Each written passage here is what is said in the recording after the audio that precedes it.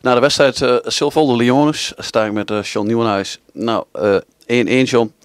de eerste helft vond ik wel een beetje voor Lyoners. Wat vond jij ervan? Ja, eerste helft zaten we goed weg. met name over de vleugels kwamen we incidenteel gevaarlijk door. Hebben we te weinig uitgehaald. En daar gaf ik de jongens ook mee in, in, in, in de rust. Dat we op deze manier de wedstrijd verder zouden invullen. dat we dan nog wel eens een keer met drie punten hier weg zouden kunnen komen.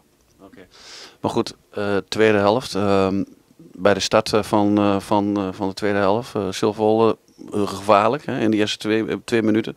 Twee kansen. Jullie doelman heeft jullie toch een beetje door, doorheen gesleept tot en met het eind. mag ik dat zo stellen?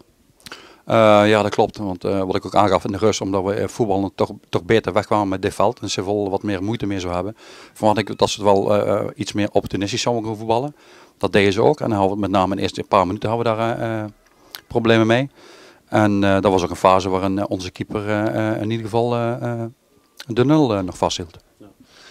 Uh, gaan we naar de, de, slotminuten. Dat was een hectische. Hè? Ik bedoel, dat kunnen we rustig vaststellen. Een goede wissel van jou. Uh, deze meneer uh, die kwam uit verdedigend uit het niets naar voren.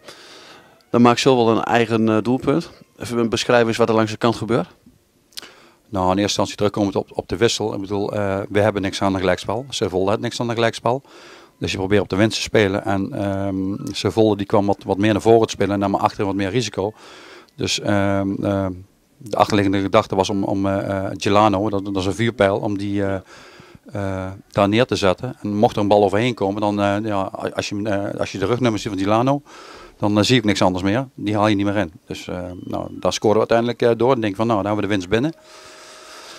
Maar dan krijg je de situatie, uh, een, een cornerbal, uh, goed genomen, vrij, uh, goed genomen cornerbal bij, bij de tweede paal. Onze keeper die wordt gehinderd daarin, binnen de vijf meter. Dus dat was de aanleiding van ons om te protesteren bij de scheidsrechter.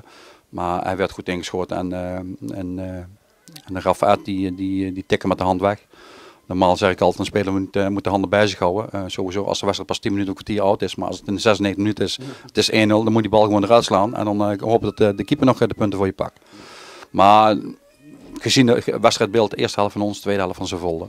Moet ik zeggen dat, dat de punten wel zo eerlijk verdeeld zijn, denk ik.